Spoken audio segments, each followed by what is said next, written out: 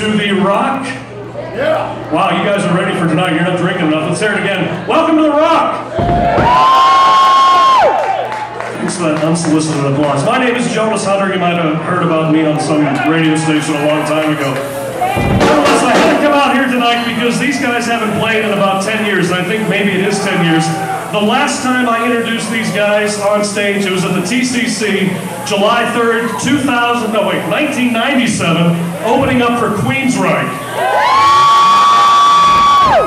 And you all know Queensryche's coming back to town, right, in September? That's good news there.